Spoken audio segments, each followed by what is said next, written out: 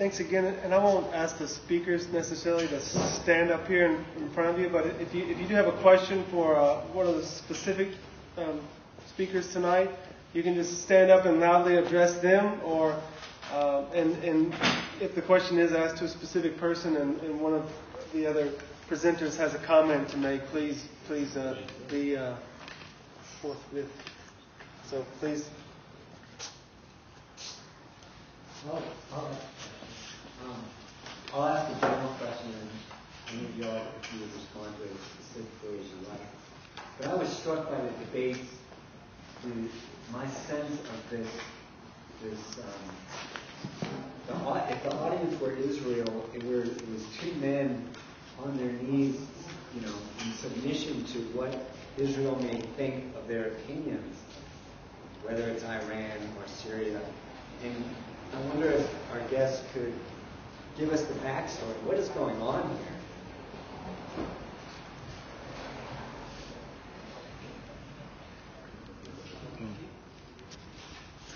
I'll, I'll take a shot at it.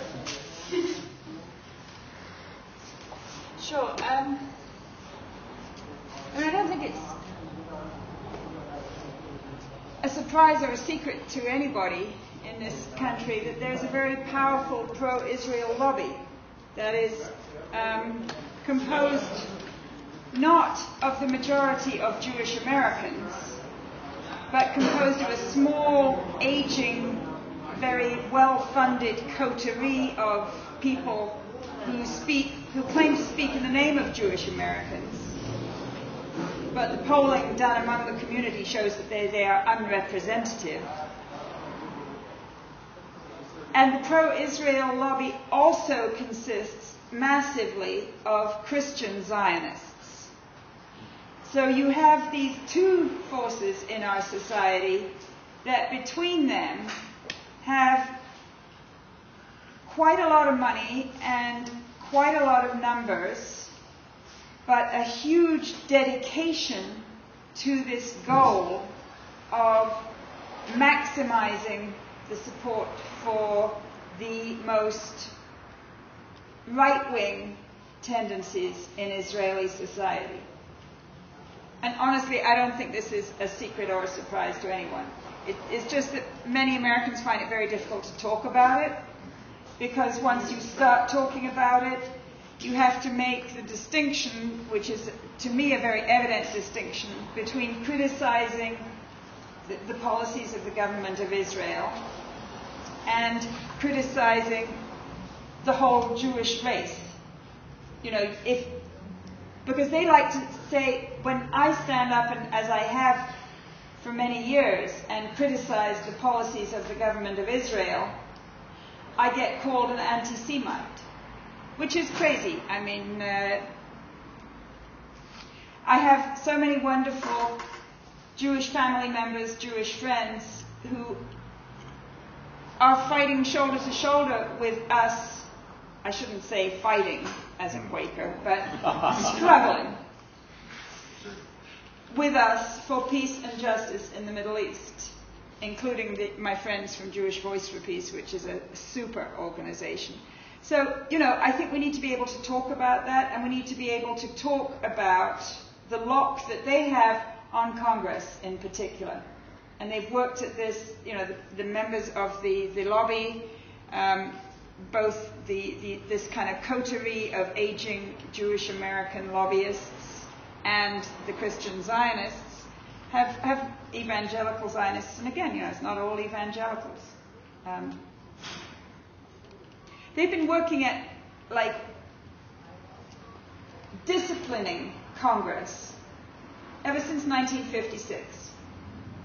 1956 was when Israel, Britain, and France launched a, an aggression against Egypt, including taking Gaza and the whole of Sinai.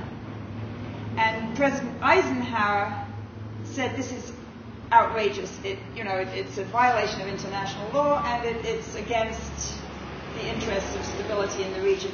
And he forced the Brits and the French and the Israelis to withdraw. I mean, I know I was like four years old in England, Okay, but we remembered that. Like he actually pulled the plug on the pound sterling, or threatened to, and he used in order to get Britain to do what it should like. I mean, to pull back from a position it should never have adopted. Of course, we've never had that with regard to the Israeli aggression of 1967. No US president has been prepared to, to actually play hardball with the Israelis about the continuation of that occupation of Gaza, the West Bank, and Golan. Two of them Palestinian territories, one a, a portion of Syria's territory. So the, these elements of the lobby have a, have a, a very strong influence over Congress. Actually, I'm going to publish a book next uh, next year by a guy, a wonderful guy called M.J. Rosenberg. If you don't follow his blog, you should. Just Google him, M.J. Rosenberg. Um, and he, he used to work for the lobby, and so he's going to be, it's going to be like a tell-all, um, spilling the beans about how the lobby works. And then he went to work for Senator Carl Levin, so he knows exactly, like from both ends, from being a part of the lobby and then from receiving the lobby. Um, precious. It'll be a fabulous book. Um, so they also have a lot of um, influence on presidents and presidential candidates. And, you know, these are, it needs to be said again and again that this current government in Israel is extremely right wing, extremely racist, extremely expansionist, and they're going for an election in, in January if anything, the Israeli political system is going to move further to the right at that point. Um, so, what do we do about it? Well, of course, these um, pro Israeli forces in society have also been extremely important in pushing American policy toward the whole of the rest of the region. Iran. If you go to the website of AIPAC, which is the, the chief pro Israel lobby, for the past I don't know, 10 years, the, the website has been just dominated by, you know, we've got to do this against Iran, we've got to do that against Iran, and they push all this legislation through which boxes in what the administration can do. Um, the war against Iraq. I think there is plenty of evidence that the, um, the pro Israel lobby was behind that as were other forces in society, but they were very significant. Um, with regard to Syria, it's kind of interesting because I think they, they've. You can see portions of the lobby have been very eager to raise the, the uh, heat on Syria.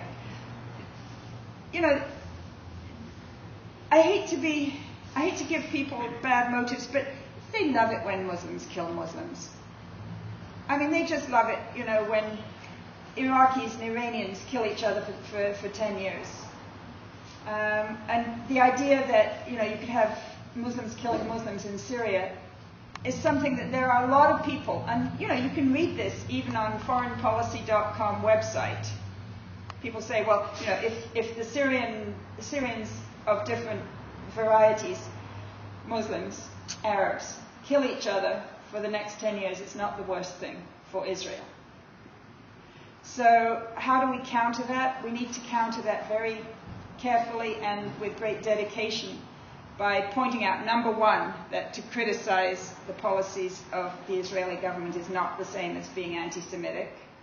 Number two, to stand up for human equality, that it is like the human right of every single Palestinian or Syrian is just as important as the human right of an Israeli, of a Jewish Israeli. And just to, to kind of keep educating ourselves about all these things and try and restore some balance to our government. I mean, what I'm afraid of is that Netanyahu has been playing a very cynical and dangerous game with regard to Iran. I think that he doesn't actually want to see war against Iran, either to launch it himself by Israel, which would be suicidal, or to see the US join or lead an attack against Iran. But I think that he and all his backers in this country, including this Sheldon Adelson and other nefarious forces, have been very eager to stir the pot about Iran and to make that like headlines all over the place precisely in order to distract the American public from what's happening in Palestine, where the Netanyahu government has been paving over the whole of the West Bank, including East Jerusalem, and making it all into one large extended is network of Israeli settlements with little prison camps here in this Palestinian town or there in that Palestinian town. I mean, I go there quite frequently. It breaks my heart to see my friends in Bethlehem encircled by this wall and with the wall getting tighter every year and the restrictions. I've got friends in Bethlehem who for 13 years now have not been able to go and visit their family members who live four miles down the road in Jerusalem. I mean, that's how bad it is. So, you know, we don't learn about this in this country very much because the mainstream media has all been, you know, flapping around about Iran. I think it's just been a major distraction. But of course, it also runs the risk of developing a momentum of its own. Sorry for going on so long. If I could just add briefly, I was in Chicago last night at a debate of the third, fourth, fifth, and sixth, I guess, party candidates for president of the United States. Uh, there were two gentlemen invited who declined the invitation. And at this debate, you had the, the Green Party candidate, Jill Stein, the the brand new Justice Party candidate, Rocky Anderson. Uh, these are both two people that I know and, and like. And uh, the Libertarian Party candidate, Gary Johnson, and then our former uh, congressional misrepresentative, uh, Virgil Goode, who is the, the Constitution Party candidate, whatever that is. And across the board, you had universal, passionate, enthusiastic, uncensored agreement among these four candidates, some of whom want to treat a living wage and health care and housing and higher education as human rights and, and fund these things with the money that is more than available in the pockets of Mr. Adelson and, and gang in this uh, country that's concentrated the wealth to such a degree, and some of whom, like Gary Johnson and to some extent Virgil Goode, want to eliminate education and housing and, and so forth, and taxes, and just do away with everything. Uh, across the board, across this wide range of political opinion, every single one of these candidates got up and said, we need to not attack Iran, we need to end these wars. We need to close these bases. We need to bring these troops home. We need massive cuts in military spending. We Virgil need to. Re- Virgil Goode was the least specific as to how much he would cut the military spending. And I, of course, in my coverage, I was there for Al Jazeera. I mentioned the fact that we struggled to get him to stop funding wars, and he never would. But he claimed to want to cut military spending. Uh, and Gary Johnson wants to cut it 43%, uh, and Stein and Anderson want to cut it 50%. Uh, but they, every single one of them, want to abolish the Patriot Act, restore the right not to be spied on or assassinated or imprisoned, and end the militarism.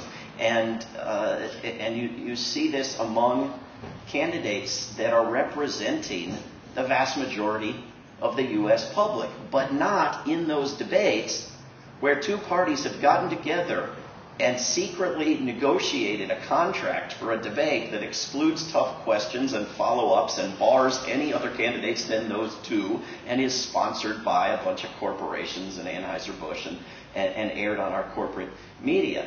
Uh, so there is a potential in this country for uh, an activist movement across a, a, broad range of political opinion uh, that says no to this war agenda and even to subservience to Israel. Rocky Anderson, in every public comment, is as as you asked in your question, he's rhetorically asking, "How in the world can a U.S. president swear to, uh, to go and ask the Prime Minister of Israel what he should do? It's outrageous. Uh, and, and, and, so there was a, an independent journalist after this debate last night who went up to each of the candidates and asked them about Palestine because, of course, it hadn't come up.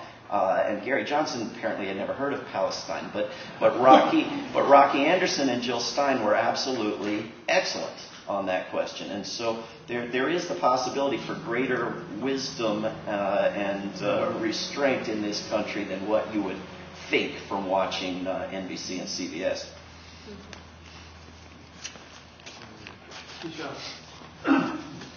I have a question on that, but I have some misconception and propaganda today, unfortunately, about the Syrian revolution. I'd like to correct a little bit, especially for Helena. I don't know where you're getting your information from, but for six months, the, revolution was extremely peaceful. And he was killing a hundred a day. A hundred a day at least. Peaceful, without fighting. Where's the war in that? Uh, nobody, who is going to come and tell them after that, oh, you can't get violence because he's only killing a hundred. It's okay, stay more consistent after that. There's a lot of propaganda coming. I don't know why. Second point.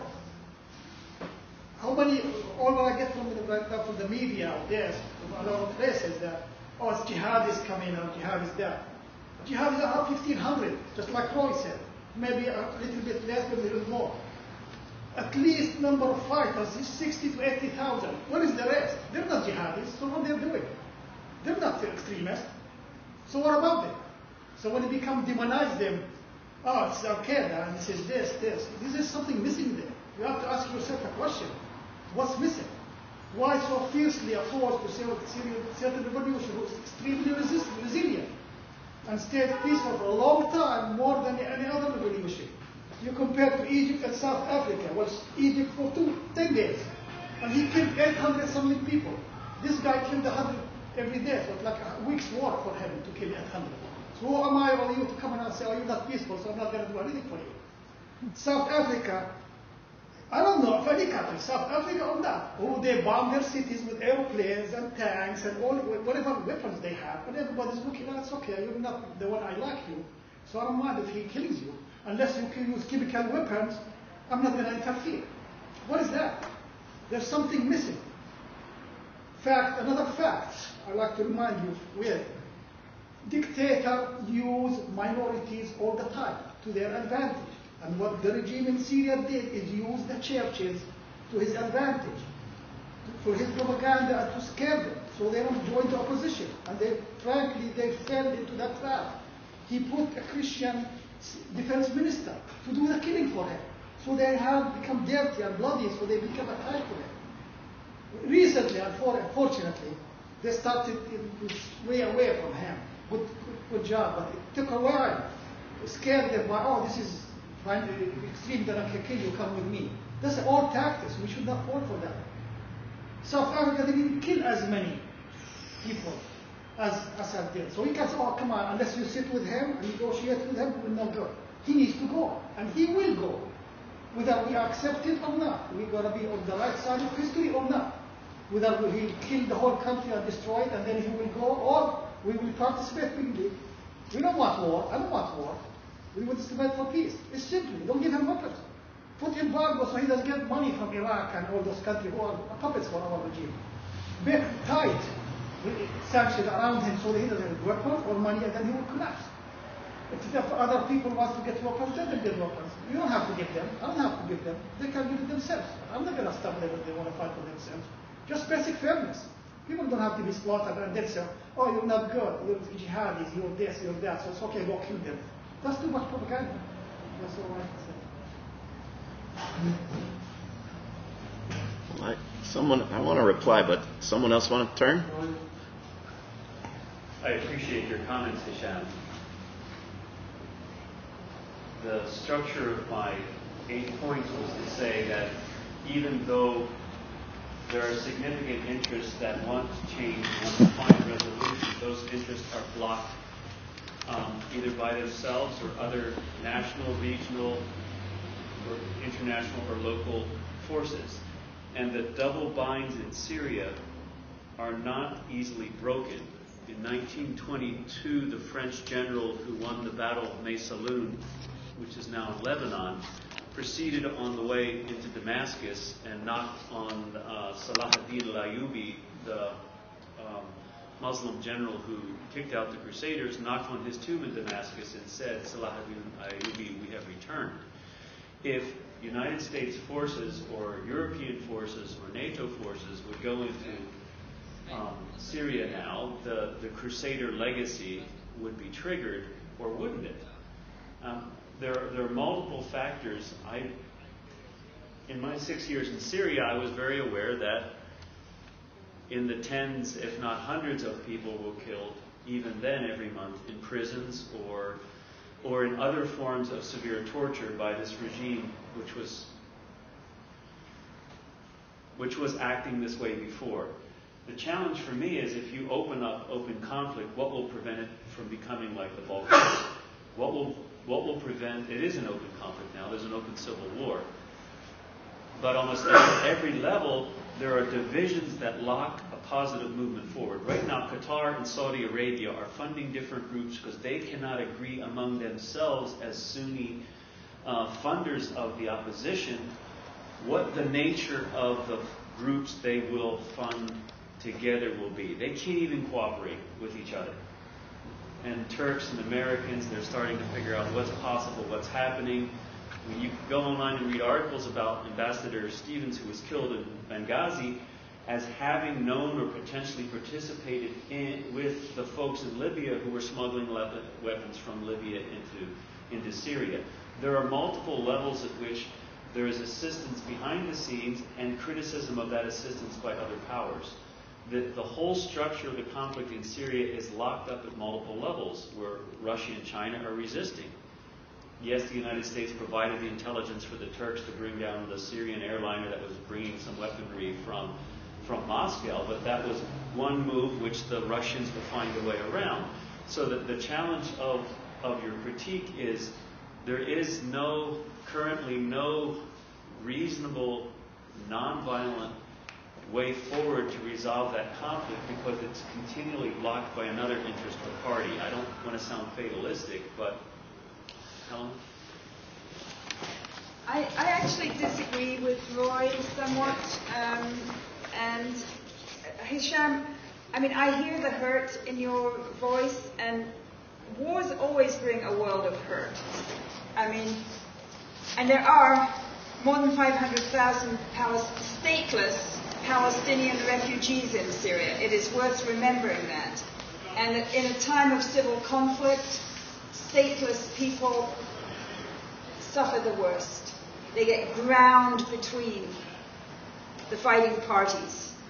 And the situation of the Palestinian refugees in Syria is extremely difficult.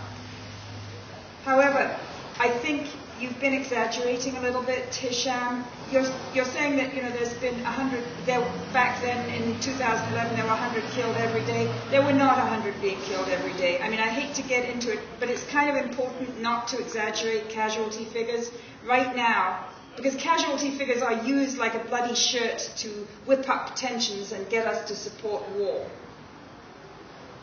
Which they did, I mean, like in Libya, we were told that unless NATO bombed, there were going to be 10,000 casualties in Benghazi, which was nonsense. There was an African Union mediation mission underway at the time. They had to pull out because NATO wouldn't give them assurance that they wouldn't bomb them in this case, in the case of Syria, right now, the, the highest figures we hear are that there have been 30,000 killed. I tend to think that it's probably between 25,000 and 30. It's impossible to know exactly, but on a daily basis, 30,000 over 18 months does not work out at 100 a day. So, you know, let's not exaggerate the casualty figures because exaggerating the casualty figures raises tensions and makes it harder to resolve issues. Now, where I disagree with Roy is basically your pessimism, Roy. I mean, I, I think your analysis of the four interlocking levels and how they are all locked and the traumas that everybody carries around. You know, when there's conflict, everybody acts out of a sense of trauma and self-righteousness and lack of empathy and lack of, you know, normal human reasoning often because conflict raises passions to such an extent. But I think in the case of Syria, that the interlock between these different levels can also be used in a, in a positive way. It's not just a negative blocking thing. And particularly at the international community level, you say, for example, that Russia and China resisted. What did they resist? They resisted a NATO initiative. You could much more usefully say that our government resisted the Kofi Annan process because Kofi Annan insisted that the, the negotiation should involve representatives of the regime. So I think if you're talking about who's been blocking diplomacy, it's our government that's been blocking diplomacy. It's not Russia and China. Um, but I think there is a potential for negotiations to be put forward by the international community and hopefully also take ground at the regional level. Remember, Erdogan, the Prime Minister of Turkey, does not want to go to war. There are forces in Turkey who want him to go to war, but it's a minority in Turkey that wants war. That land border that they have with Syria is Turkey's ways the longest land border. It's 530 miles long, and it's mountainous. It's very porous. Turkey cannot control that border. And, and they've had this eruption of things happening in the Kurdish areas of Turkey, and also real problems politically with the Alawis and the Alevis in, in Turkey. They don't want to go to war. So, you know, Erdogan has been to visit Tehran to try to get a Turkish Iranian process. The new Egyptian president is potentially part of that and could maybe bring the Saudis and, and Qataris in. I mean, there are things, there is some wiggle room. And I think the fact that Lakhdar al Ibrahimi is the special negotiator, the special representative of the Secretary General of the United Nations right now, is very hopeful because Lakhdar, remember, is an Algerian. He knows from his family in Algeria what the cost of 10 years of civil conflict are for everybody who's involved. I mean, the way that I look at it,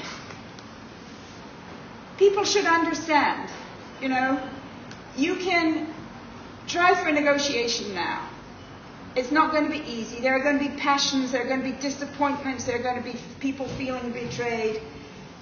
A lot of arms salesmen might miss out on their profits, etc., etc.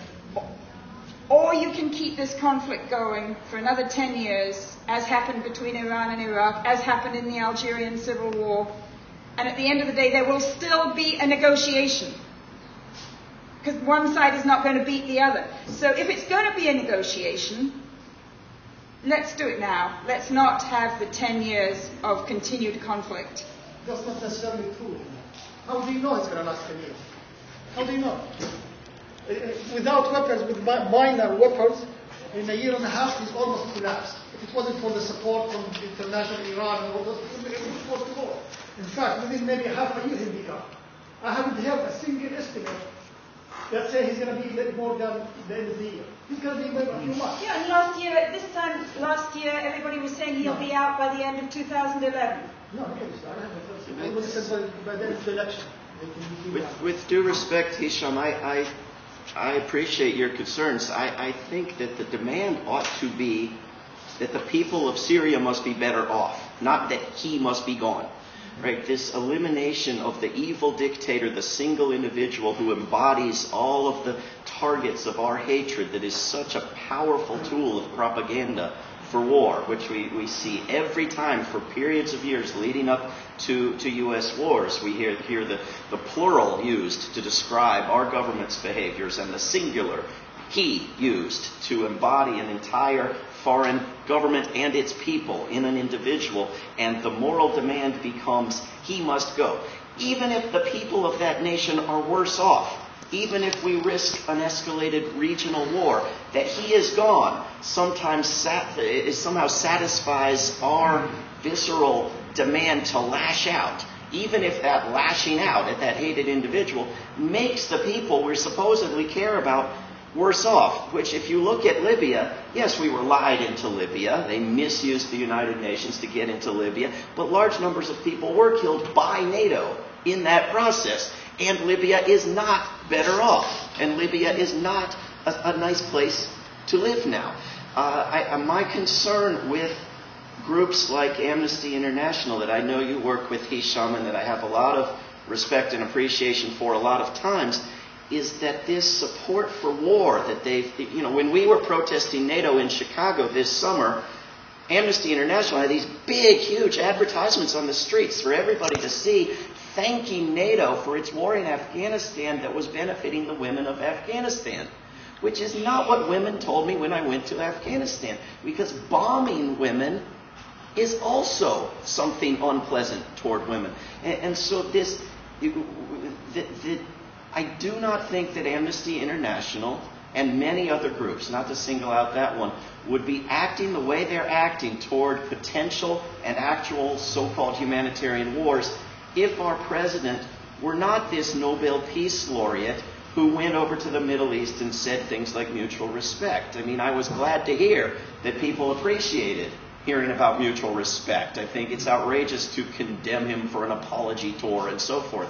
But if we were to actually respect Iran, we wouldn't be flying drones over it, assassinating its scientists, imposing murderous sanctions, sponsoring terrorism. I mean, we, we have to, at some point, drop our infatuation with individuals, the good ones on our team and the evil ones on the other team, and look at actual facts and actual behavior and actually work toward, toward behavior that reflects the nice rhetoric, uh, the mutual respect. Yes, number one, I never saw any amnesty support war period. I never, if you show me something I like to see. I never support for Afghanistan or Syria. Well, you should have come to Chicago no, last summer. I don't need to go to Chicago. Show me the, the website. Look at the place. They have application. Show it to me. Number one. Number two, I'm speaking for myself right now. I never asked just for an individual to go or not. I'm asking for peace.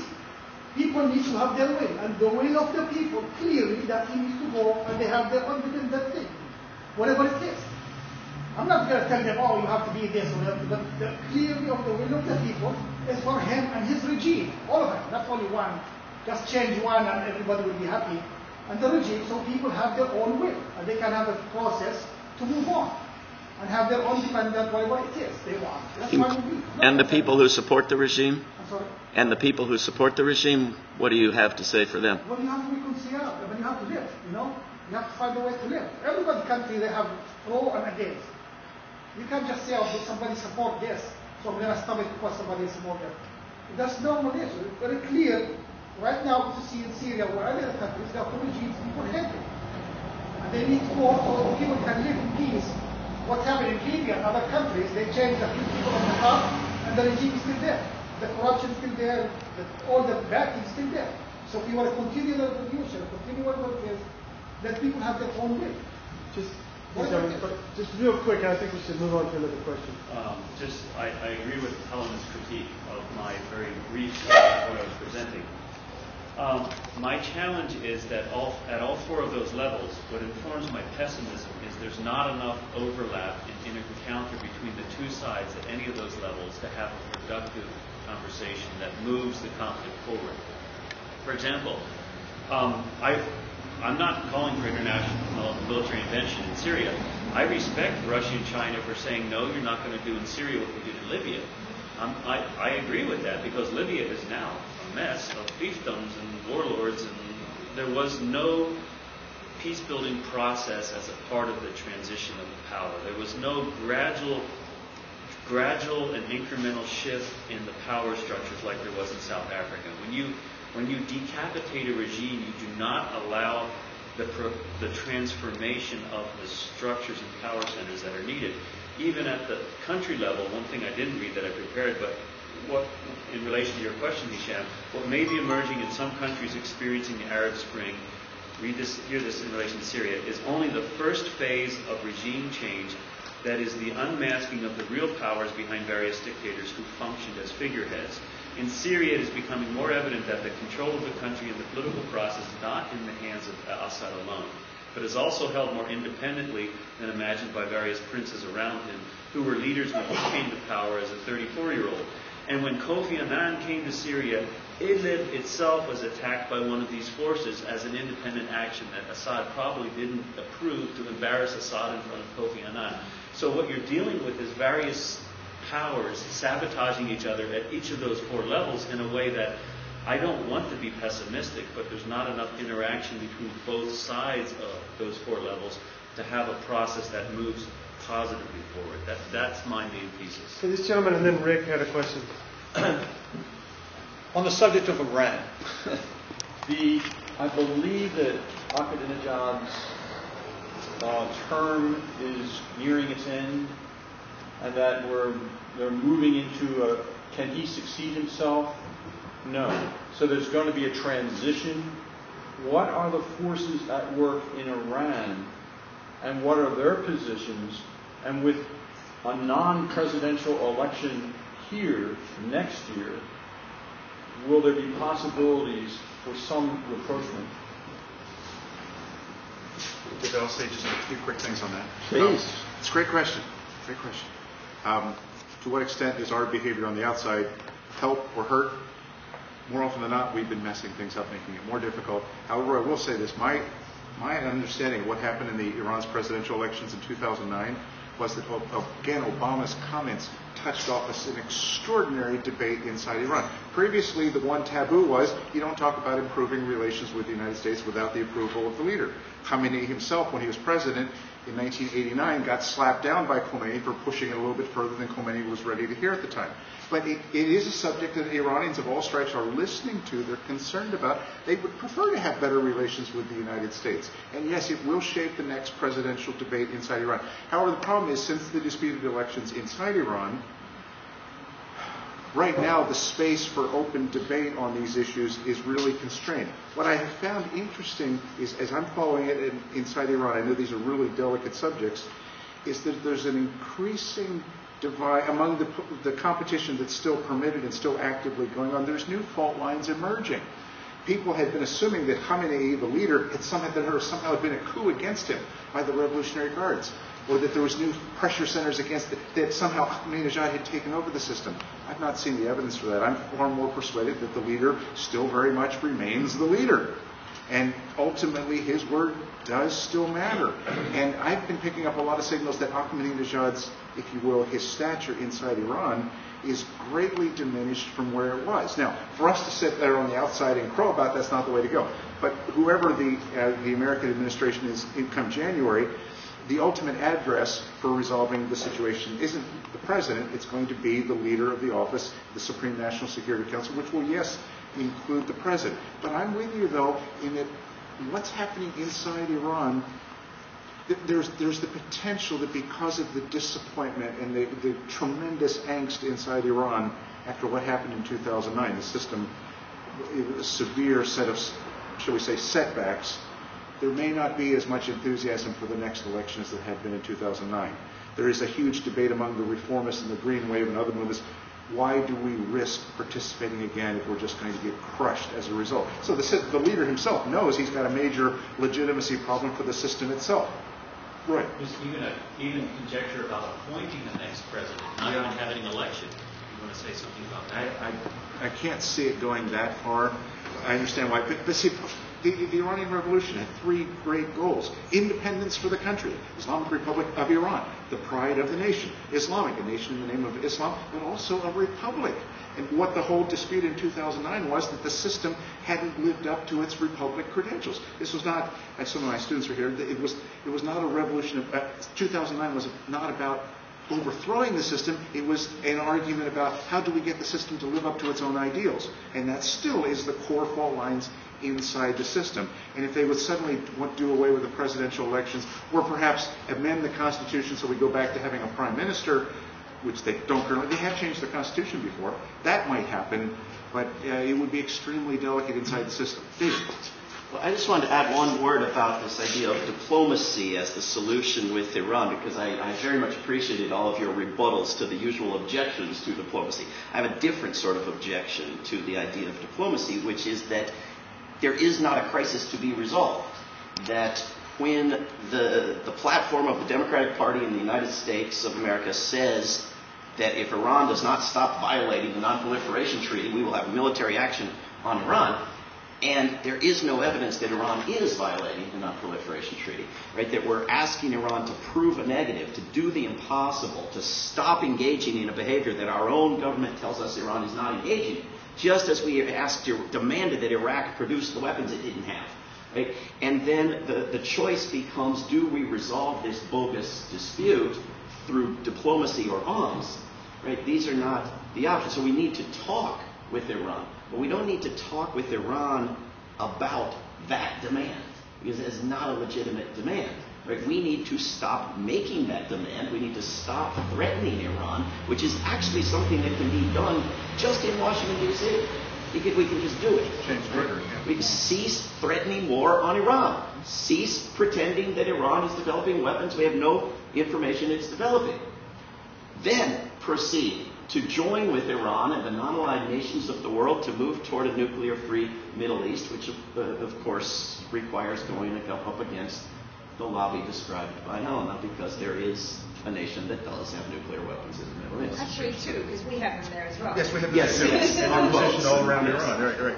And, and I would just add one thing. Some of you may be familiar with the grand bargain that then President Khatami offered in 2003, which would have addressed a whole series of issues that we had with Iran, and would have addressed a whole series of concerns that they have. Beginning with, you know, recognizing our revolution, not supporting various opposition groups or terrorist groups on the margins, a series of concerns. In, and also, even Israel Palestine was on the table in that grand bargain. If we don't have diplomacy, there's a lot of real, real things that we should be talking about. But the, you know, in the language of international politics, there's a lot of common interests, common concerns between Iran and the United States, beginning with Afghanistan. I mean, there's great fear that Afghanistan is falling apart, it's going the wrong way. Concerns about Pakistan, concerns about Syria too. Why not get involved, Iran involved in helping to resolve the hell in Syria? To link our two subjects to tonight. And you, you, yeah, so I, I with you. Your, your, your point is well taken. And let's have diplomacy about real things. And there's a lot of things to talk about. Uh, I think we might, just, Just going to one last comment? follow. Kofi Annan was on the Rachel Maddow show, and he was saying a very perceptive thing. When you hear people speak, whether they're United States politicians or Iranian politicians, you have to say, to whom are they speaking? Because what they say has different content and will have different results. So you don't take it immediately at face value, but you think about what they have to say for their own constituencies. So you have to take all that into, consideration. So the possibilities could be there. And that was part of the reason I was bringing up com- commenting recently, talking to his own people about the, the model of Imam Hassan. The ideal of, of diplomacy and working out conflicts, that it's okay, and it's quite Islamic to do that, even if it means compromising what might have been previously seen to be sacred, unbendable principles or issues. The big one being. One last question, Rick, go ahead. I, I was just going to say, you know, I had the good fortune to, to spend a little bit of time in Syria in around 2006, 2007. And I mean, I'm not an expert. I wasn't doing anything important. I was hanging out. Um, and it was awesome. I mean, it's an amazing place. But something that people there knew, that people here don't know, but it's very common. And I had a lot of conversations with just kind of average folks, you know, um, that, you know, like, of course, they were quiet conversations because the secret police are indeed pretty much everywhere.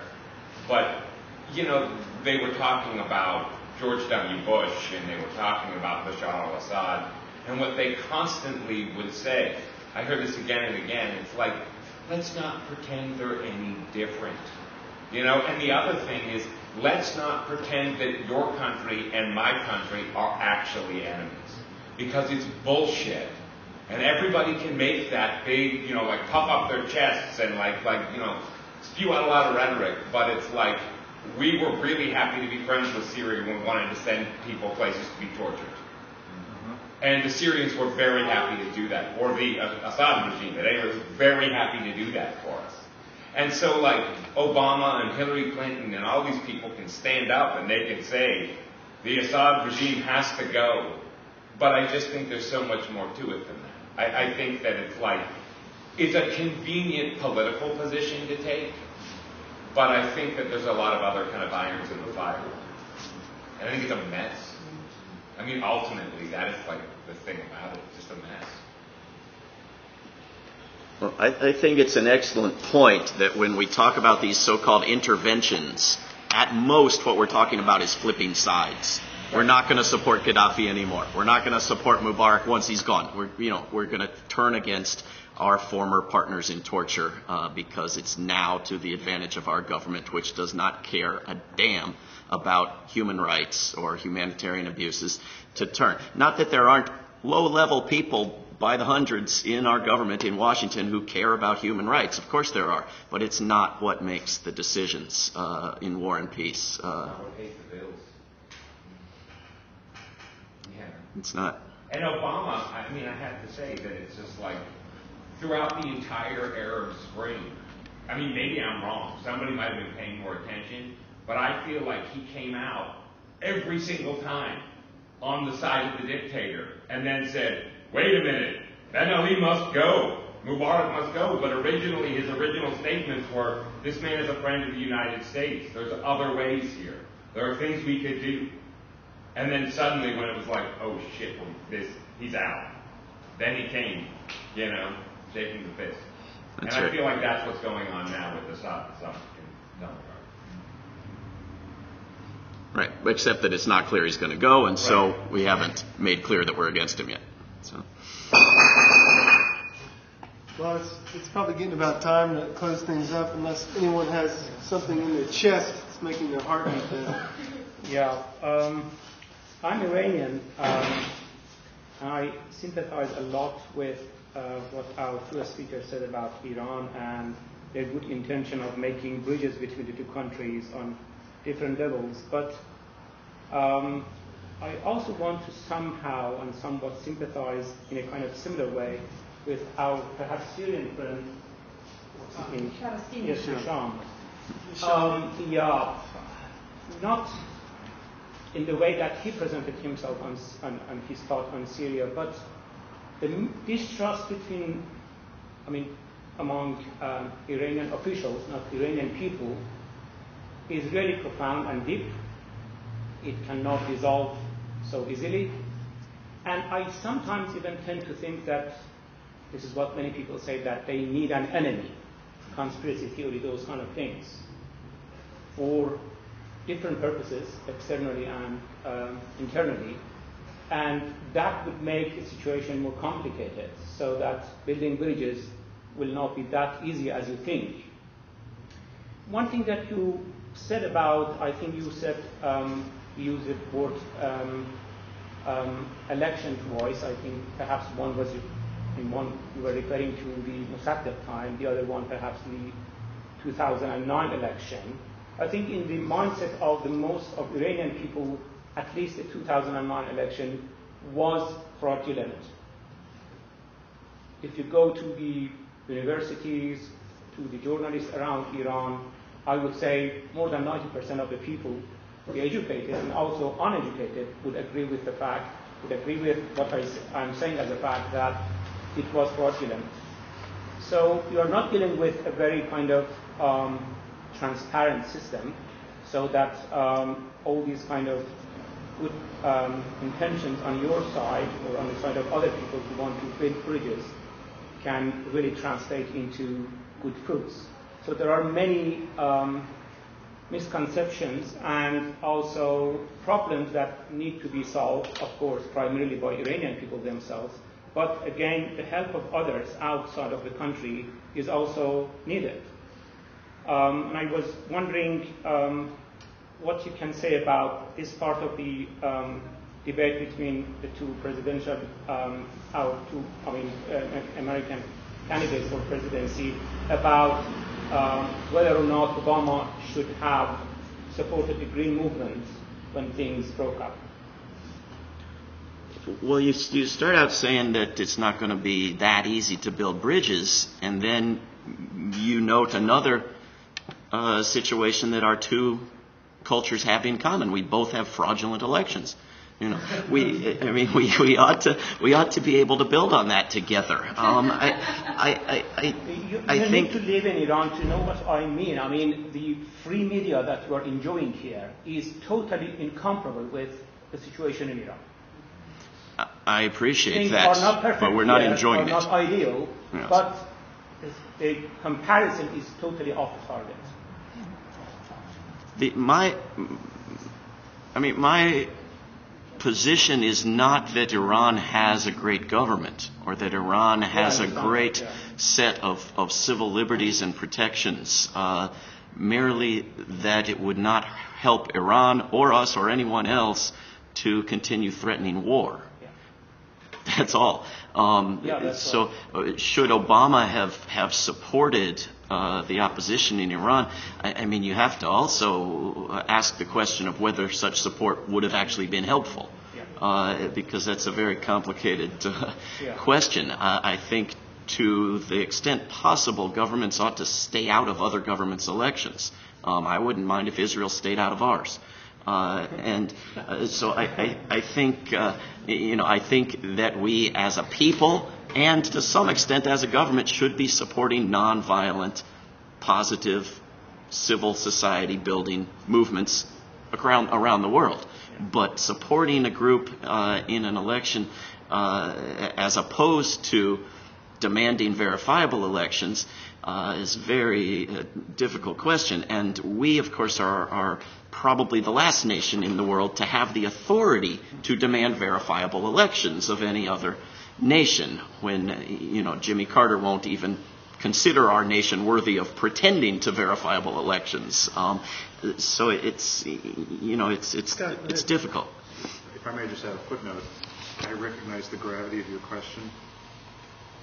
Um, it's partly because I recognize the gravity of the question.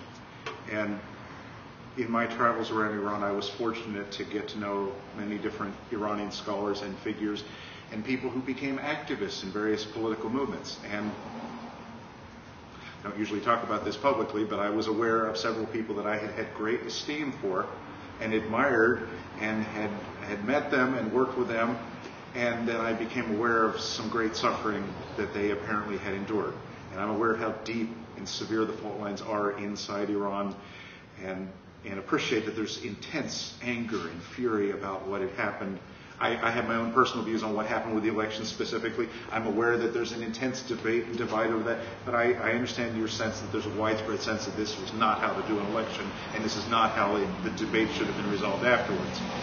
Be that as it may, then what becomes when you have candidate Romney, in effect saying that the president didn't stand with the Iranian people, that he missed the chance. I think the president was in a horrendous position at that time. Um, he eventually did start becoming more critical by the fall, but he was, I, I think, making the, you know, we as Americans like to think we're concerned about human rights.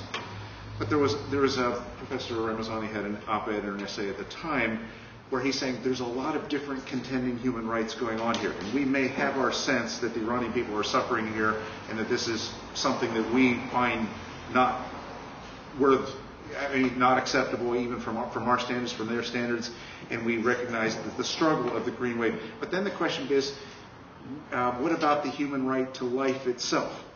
Is figuring out a way to have, when I, when I talk about mutual respect, that doesn't mean having an, an approval, approving what's going on. It's in effect recognizing Iran's independence, that this ultimately is an Iranian problem. And by respecting the Iranians, we're saying, yes, we, we, we ourselves see it. We hear the pain, we hear the cries, we hear the demands for recognizing the complaints of the opposition. And at the same time, we also are insisting, or not insisting, but recognizing your right to resolve this yourselves from with, within Iran. And it's a delicate balance. It's easy to throw pot shots saying the president should have done more. Well, what exactly more could he have done? And then, then you go into the issue of all the sanctions that have been applied. I'm not aware of any major green opposition figure wanting sanctions. You mentioned Shirin Ebadi. She's she herself very critical of the regime, and at the same time saying, please don't be doing sanctions in our name. She And wants get- targeted. Yes. Yeah. Oh, and then you get into that issue of targeted sanctions and you know, the so-called smart sanctions. And now we have, you know, we've dropped that rhetoric in the, in the, in the heat of the American politics. Everybody's talking about, well, look, look how good we've done. We, we're crippling the country. Well, okay, it's causing the country great pain, but what was the objective? The objective was to reach a, uh, a way to, to resolve this horrendous nuclear dispute. And are we any closer to getting that? I'm afraid we're even further away from that because of all this application of the pressures. Now, I'm aware, too, of the issue of, well, if we strike a deal with the current system, then various opposition forces might resent that. And yes, that's, again, another debate inside Iran. Um, I, I'm with those, though, stressing, okay, if we believe in that ultimate human right of life, right of life, and we want to avoid war, that's, that's it doesn't mean we ignore those other human rights that we might be concerned about, that might, we might think we might have some standing on, but there is this sense of by avoiding war, then we can give the country itself a way to move forward to resolve this. If we're in a situation where Iran is, you know, the, the metaphor that often gets brought up in Iran is when, when you're on the ground and a bully has its, is stomping on your neck, and then you say, okay, we think you should, you know, follow our approach to human rights. Um, the, the, Iranians have, uh, if I can, time for one little story, one minute story. Uh, Ayatollah Khamenei, August 2009, he was trying to explain to the Iranian people um, what negotiations would be, what diplomacy would be. And he brought up the metaphor of the shopkeeper selling a jar of honey. You might remember that? And uh, this was not a nationally broadcast sermon, but it actually appealed, it was bringing up an old metaphor from Iranian culture. And you have someone who comes in um, um, and wants to buy that shopkeeper. I'm just going to pull some numbers out of thin air here, and says, um, uh, "How much for that jar of jar of honey?" And the shopkeeper says, 100 toma. And the, the bully says, shakes his hand and says, 10 toma. Well, in traditional Bazari class, you have then you have an ongoing process of ta'arof and negotiations, and diplomacy. But uh, the, the shopkeeper is saying, uh, okay, 75 toma. And the guy holding his hand is starting to squeeze a little tighter says, 10 toma. And the shopkeeper is looking at him, starting to have a little fear in his eyes. What am I dealing with here? Um, and he says, okay, 60 toma. And the guy starts shaking his hand and becomes a death grip on his hand. And he says, how much for that jar of, of honey? And by this time his hand's turning blue. And he says, okay, 10 toma. and everyone recognized that that was not negotiation, that that was an extraordinarily unjust situation. It was, in fact, a bully using his force. And from the Iranian perspective, even though we have severe differences and there's great pain inside Iran, there is still this issue of this nuclear question needs to be resolved and needs to be addressed between nations. And there has to be a way of, in fact, respecting each other as countries and respecting our differences and trying to move forward and resolve what we can. I think that might be it. Thank, thank you guys for talking. That was that was real good. Thanks for coming. Thank you.